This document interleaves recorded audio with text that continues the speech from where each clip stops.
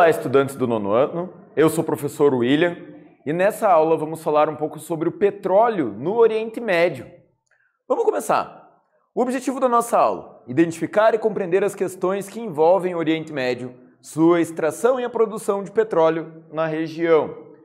Bem, quando nós falamos de Oriente Médio, é interessante pensar que, além de já ser um lugar conflituoso por conta de questões religiosas, questões étnicas, culturais, também existe a questão do petróleo, que vem crescente na região desde o século XIX.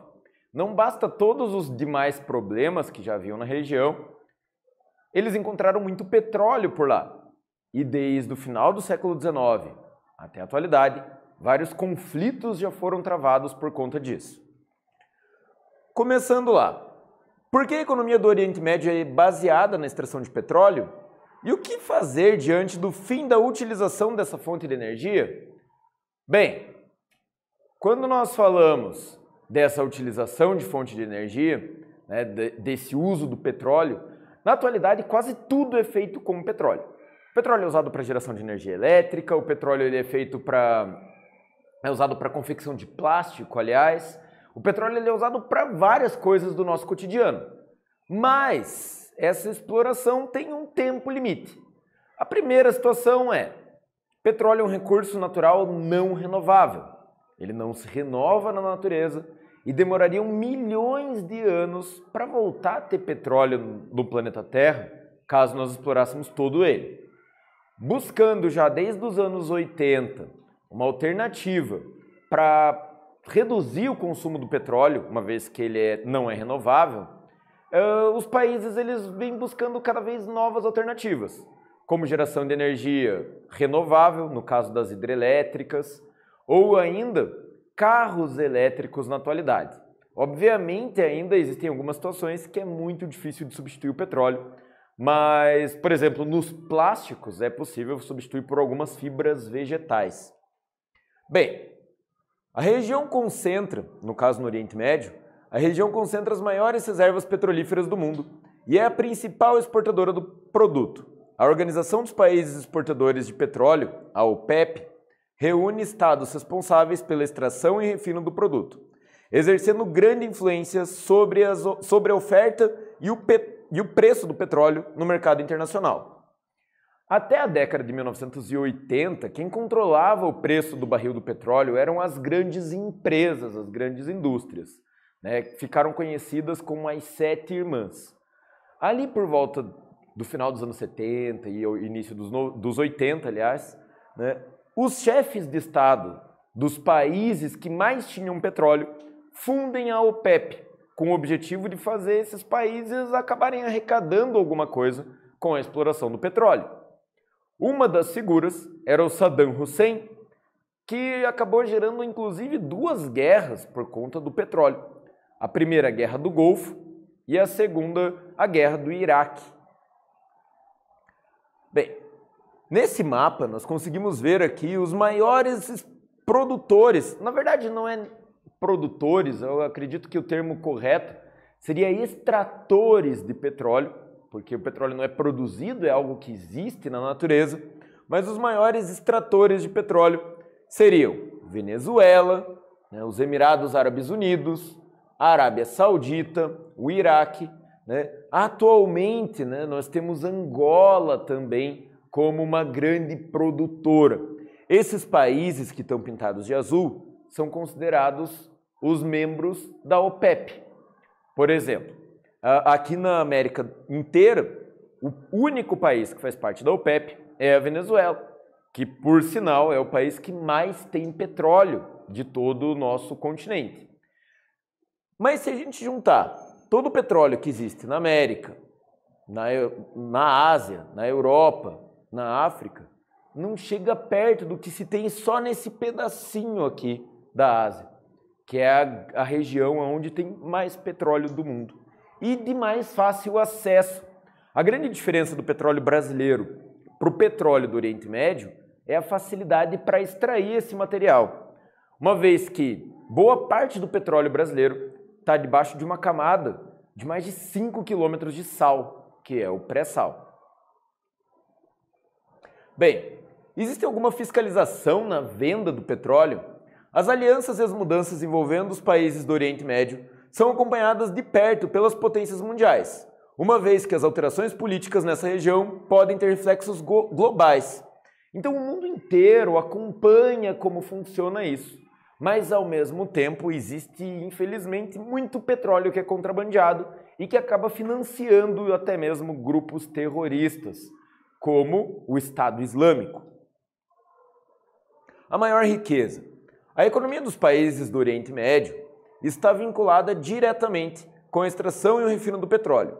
Como a região é constituída basicamente por desertos com climas adversos e impróprio para a agricultura, a maior riqueza que eles possuem é, sem dúvida, o petróleo. Se nós olharmos aqui, o tipo de clima que vai acontecer na região dificulta muito a agricultura.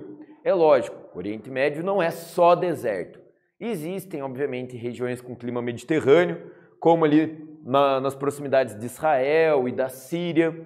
Existem alguns lugares com clima temperado, né, como vai ser ali alguns pedaços da Turquia e até mesmo do Irã, mas de modo geral, a grande maioria tem um clima árido ou semiárido, o que dificulta o cultivo de plantações. Sendo assim, o petróleo, que nessa região é muito, é, é muito fácil acesso, ele acaba sendo a principal mercadoria. Bem, quais são os países produtores? Né? A concentração maior do recurso está no Golfo Pérsico e na Mesopotâmia, os quais juntos possuem cerca de 60% de todas as reservas do planeta. Dentre os países do Oriente Médio, os maiores produtores de petróleo são Arábia Saudita, Irã, Iraque, Kuwait, Emirados Árabes Unidos, Catar e Bahrein. O Catar é o país que vai sediar a próxima Copa do Mundo. E muito disso está sendo feito com o dinheiro do petróleo. Eles conseguem fazer nuvens artificiais, né? eles têm produzido nuvens artificiais para tentar amenizar a situação do clima, que na região o clima é muito árido. Sobre o órgão regulamentador. A imensa reserva de petróleo existente no subcontinente, aliada a outros fatores de caráter econômico e político, favorecem a, aliás, favoreceram a criação da OPEP, a Organização dos Países Exportadores de Petróleo, em 1960, que é considerada um dos maiores cartéis do mundo. O problema é que eles controlam o valor do preço do barril do petróleo. Então, se eles vão vender o petróleo mais caro, o petróleo do mundo inteiro acaba subindo, por mais que o país produza petróleo, como é o caso do Brasil com a Petrobras. Vamos para uma atividade Diante das dificuldades em diversificar as atividades e da força econômica do petróleo, qual setor econômico tem alcançado destaque no Oriente Médio? Agora é com vocês.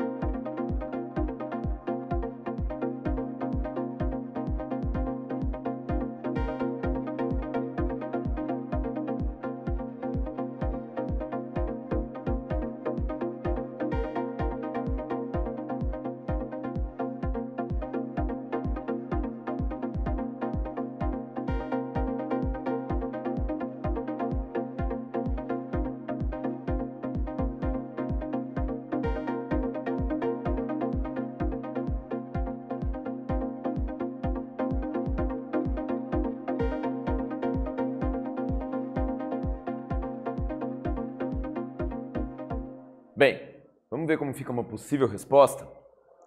Como a região é constituída basicamente com desertos e climas adversos, impróprio para a agricultura, a maior riqueza que eles possuem é, sem dúvida, o petróleo.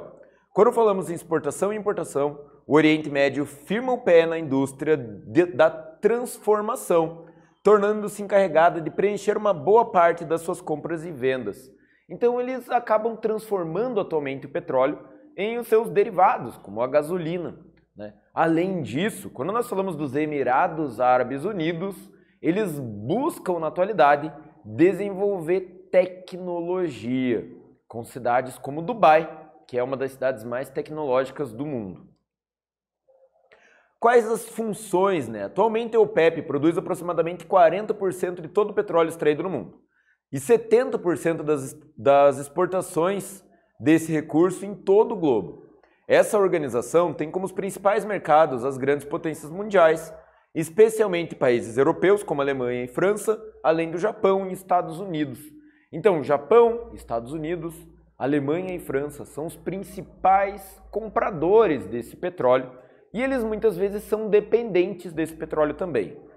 Outro país que usa muito petróleo é a China, mas eles acabam fechando acordos com alguns aliados, como é o caso de Angola na África, que também faz parte da OPEP, mas não se encontra no Oriente Médio.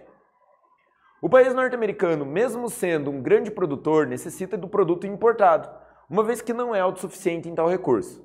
Esse fato favorece a interferência das grandes nações no cenário geopolítico do Oriente Médio. Bem, não é novidade que desde o início da década de 1990, os Estados Unidos vêm buscando interferir nas políticas do Oriente Médio, do Centro-Oriente também, buscando, como eu posso dizer, ocidentalizar esses países para que eles tenham acesso mais fácil ao petróleo. Não é à toa que teve a Primeira Guerra do Golfo e a Guerra do Iraque. A Guerra do Iraque, ela começou logo depois da Guerra do Afeganistão, que tinha uma justificativa real. No caso da Guerra do Iraque, a principal justificativa é que os Estados Unidos temiam o uso de armas químicas por parte do país. Algo que não ficou comprovado no primeiro momento. E as tropas norte-americanas permaneceram por anos no país, sem sair completamente de lá até a atualidade. Onde está a sede da OPEP? A OPEP está sediada na Europa, mais precisamente na Áustria, na cidade de Viena insere nessa organização 11 países. Seis são do Oriente Médio: Arábia Saudita, que é o maior produtor mundial, Emirados Árabes Unidos, Irã, Iraque, Kuwait e Catar. Outros cinco completam a, a lista, que são Argélia, Líbia, Nigéria, Indonésia, Venezuela. Na verdade, nós temos Angola também fazendo parte dessa lista na atualidade foi um dos últimos países a se associar ao grupo. Israel como exceção. É bom destacar que a limitação econômica em relação ao petróleo pode impedir que os países se desenvolvam em outras atividades produtivas, como a industrial. Dessa forma, grande parte das nações do Oriente Médio não é considerada industrializada. Em contrapartida, Israel, como não tem muito petróleo, busca se industrializar. Lembrando que, além de tudo, Israel seria o país mais ocidentalizado ali naquela região, o mais industrializado, e tem uma grande questão, que é religiosa. Enquanto a maior parte dos países da região são muçulmanos, Israel é um país de maioria judaica. Sobre a riqueza do petróleo. Desde o final do século XX, alguns dos maiores produtores de petróleo do Oriente Médio passaram a diversificar a economia de seus territórios, investindo volumosos recursos no desenvolvimento do setor de serviços, em especial o turismo de luxo, que é o que acontece lá em Dubai, uh, onde as pessoas andam com carros importados, aqueles prédios gigantescos, uh, ilhas artificiais, chuva artificial, grandes piscinas no centro da cidade, usando o dinheiro que veio do petróleo para tentar atrair outro tipo de mercado e movimentar a economia do país, no caso dos Emirados Árabes Unidos, de outra forma. Vamos conhecer então o turismo de luxo do petróleo. Né? Essas, essas ilhas artificiais que eu acabei de falar ficam em Dubai. No caso, isso é uma península artificial, mas ali também tem algumas ilhas artificiais. Né? Dubai e Abu Dhabi, ambas localizadas nos Emirados Árabes Unidos, foram as primeiras cidades a chamar atenção pelos seus modernos conjuntos de edifícios. Posteriormente, Oman, Catar, Kuwait, Bahrein e Arábia Saudita buscaram seguir o mesmo modelo. Quando nós falamos isso, é interessante pensar né, no Catar, como eu já havia falado antes, que na próxima Copa do Mundo eles vão sediar e ao, e ao sediarem a Copa, né, eles estão criando uma grande infraestrutura no país usando o dinheiro que está vindo do petróleo né, com estádios, com cobertura, uh, chuvas artificiais. Eles estão conseguindo até mesmo controlar o microclima da região. E quando o petróleo acabar?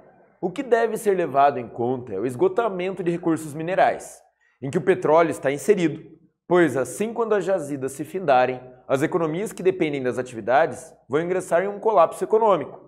É justamente por isso que países como os Emirados Árabes buscam novas alternativas. Né? Algo que nós podemos já presenciar no nosso vizinho Venezuela, que tem a sua economia muito baseada no petróleo, mas por conta de atritos políticos começa a sofrer sanções e eles não conseguem vender o petróleo deles com facilidade, gerando vários problemas maiores econômicos para a população.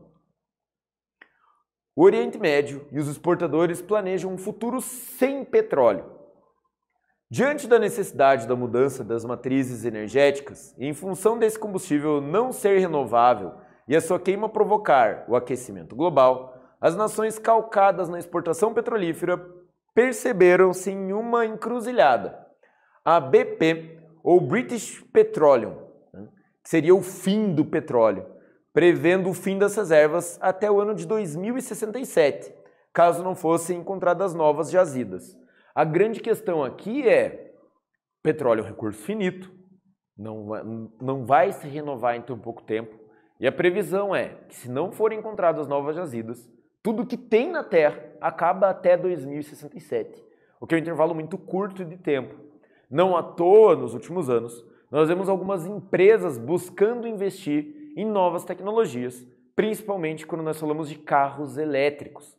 Mas ainda tem um problema quando nós falamos de carros elétricos. No caso dos Estados Unidos, os carros elétricos, eles não usam petróleo diretamente, mas muitas vezes a eletricidade é gerada através da queima de carvão mineral ou até mesmo do próprio petróleo. Isso é um problema. Na atualidade, os carros mais modernos, eles conseguem render mais, eles têm uma rentabilidade maior usando menos energia do que os primeiros carros elétricos. Então já compensa mas ainda assim existe um problema nessa situação. O ideal seria parar de usar petróleo e buscar fontes alternativas e de preferência que não gerassem grandes impactos ambientais. Vamos para mais uma atividade.